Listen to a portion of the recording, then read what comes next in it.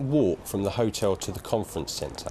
It's not a confident walk because he knows he's going into some sort of battle. He knows he's got to win them over. So it's a fixed smile. He enters the, the, the conference centre. When he gets up on stage, I think he's completely blown away by the reception and the applause he gets. It actually sort of throws him off a little bit. Um, then when we start to get into the speech, he's looking around, appealing, connecting with everybody in the hall. He's trying to get them to come along with his way of thinking because he's very strong. He uses these open palm, open fingers with his palms towards the body.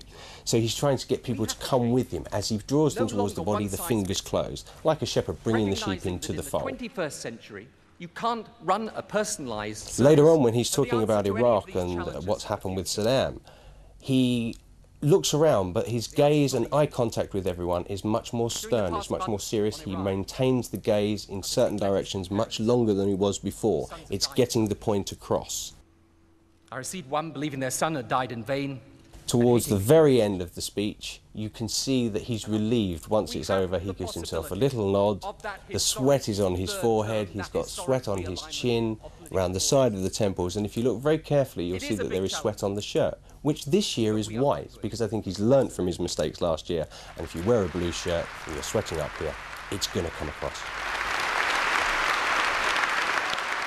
Fascinating stuff. Well, uh, what did the political commentators make of it? Julia Hartley Brewer, uh, political.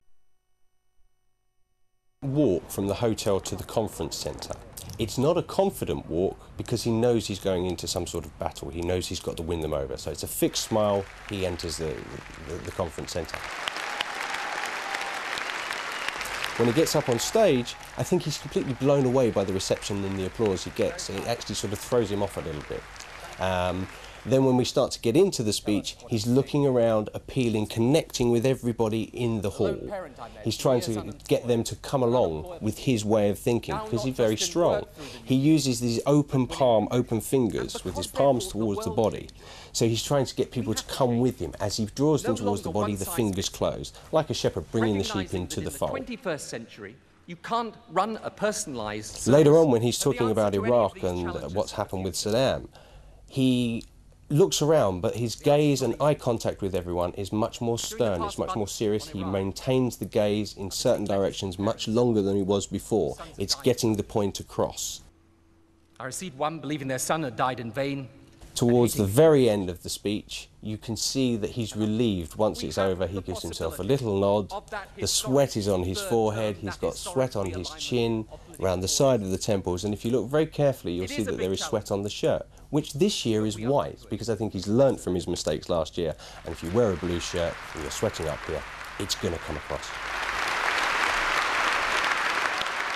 Fascinating stuff. Well, uh, what did the political commentators make of it? Julia Hartley Brewer, uh, political